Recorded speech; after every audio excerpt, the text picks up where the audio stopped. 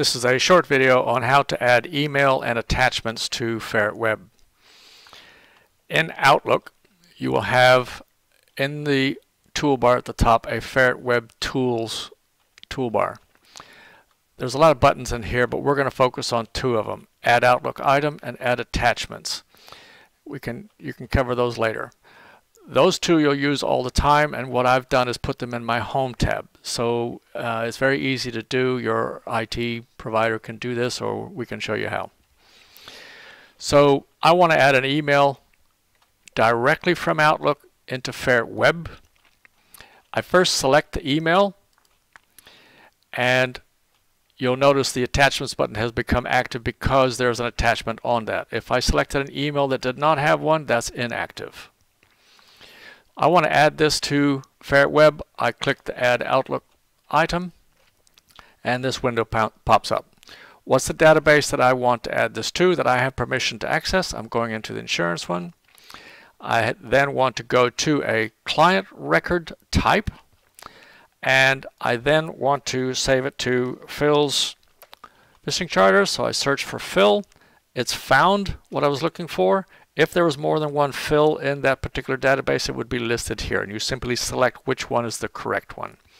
And again, all of these fields here are dependent upon what your configuration is. You, your company decides what that is. And of course, you can expand and contract that. Once I've selected that, down here at the bottom are the indexing details for that email and Ferret has automatically picked up the email's date. It's going to automatically create a file name for that email because right now inside of Outlook it's simply data. It is not a tangible file. We will make it a tangible file, put it into Ferret against the record it belongs to, and create a file name in the process. It's automatically picked up the subject and put it into the description field. It's defaulting to a particular doc type. I can select this. This is your list, so you decide uh, what is on that list, or your company does.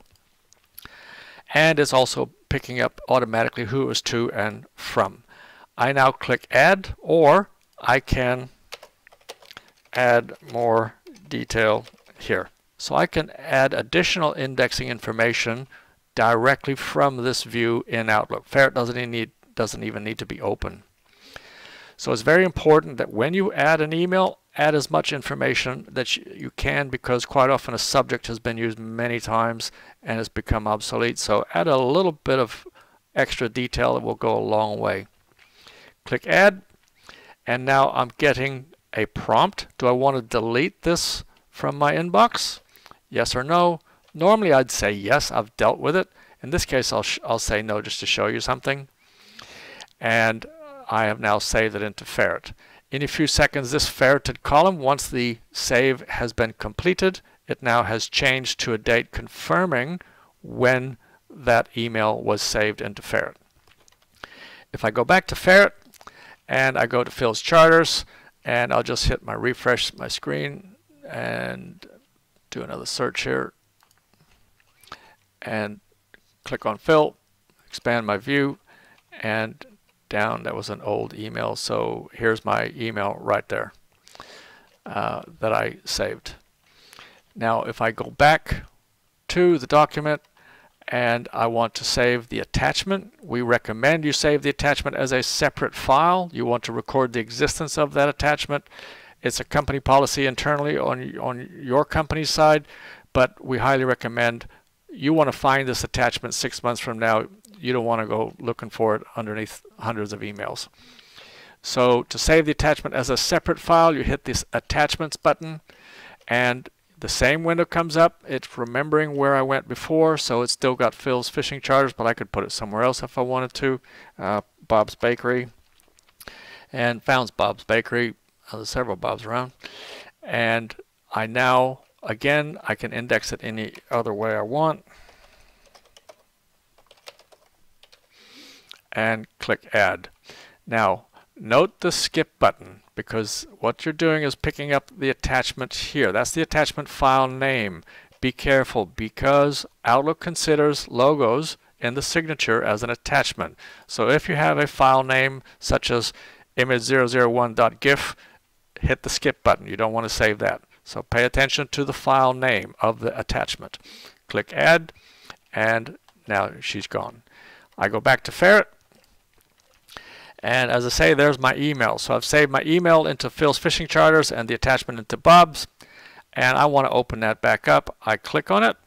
It's asking me what I want to open it with. Outlook and there it is up here and open that and now over here on the right sorry is my email exactly as I saw it in Outlook I have not changed it in any way it's exactly the same as what it was before but it's no longer in Outlook it is in Ferret against the record it belongs to so anyone who has permission to come in here can now see it in addition if I now go to Bob find Bob there's Bob's Bakery expand view. There's my attachment right there.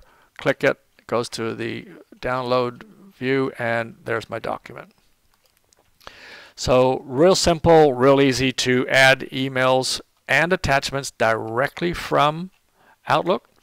Now in addition, you can also do the same for outgoing emails. Click new email and I'm going to send this to myself. and send. I'm being prompted. Do I want to put it in Ferret? Yes or no? Yes, I do. Where do I want to put it? I want to put it in Bob's file.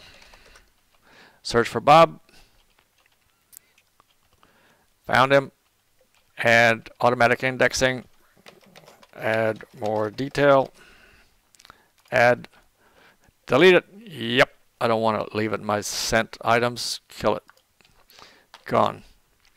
Uh, hit refresh, F5, and there's my email. Open it up in Outlook, and there it is. Again, it's exactly as it would have been in Outlook, except it's not there. It's in Ferret where it belongs.